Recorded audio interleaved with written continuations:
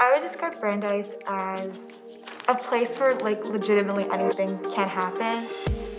So I got really lucky my second semester sophomore year that I had a professor in the legal studies department who had a colleague who was looking for interns for the summer.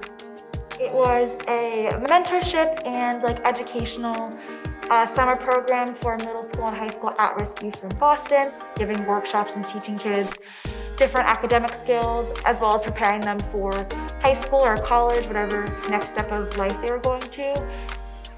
Being able to see at the end of the summer a change in the students gave me a really great positive experience. And I now very much so know that I want to go into public interest law and most likely be able to work with juveniles and representing them, especially in underrepresented communities. So I think that internship completely allowed me to not only explore a path I wasn't completely sure about, but like I now have the connections to be able to go down that path.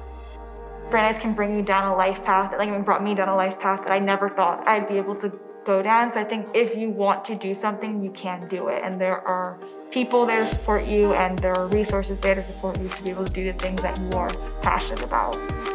Hi, my name is Marissa, class of 2022, and I explored career opportunities at Brandeis.